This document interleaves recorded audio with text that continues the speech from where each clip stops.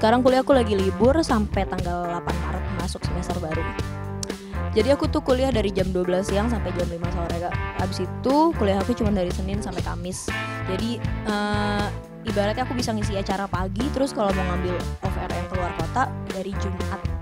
Jumat tuh kan udah nggak kuliah tuh Jumat terus minggunya pulang. Jadi selama ini sih so far bisa termanage dengan baik dan kalaupun ada yang harus dikorbanin, aku bakal lihat nih jadwal yang mana nih yang masuk duluan dan biasanya aku sampai surat izin segala macam sampai jelas dulu sih.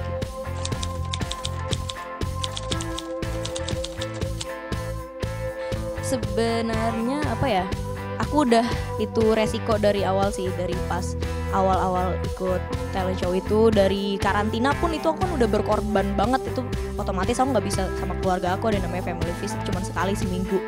Dan apalagi dengan ini apa uh, film lagi terus habis itu nyanyi normal sama aku kuliah kayak tiga kegiatan itu harus tetap aku jalanin. Dan keluarga juga ada jadi mau nggak mau emang nggak sesering kayak dulu ketemuannya pas aku masih apa ya masih anak sekolah biasa gitu. Sekalinya kita jalan ya kayak kemarin sih beberapa hari lalu kita makan sekedar makan bareng semuanya satu keluarga kecil terus terus tuh makannya ke tempat yang kita semua belum pernah. Jadi gambling gitu terus seru-seruan terus obrolan-obrolan di mobil yang yang bercanda-bercandaan kayak gitu tuh berarti banget sih kak. Kayak misalnya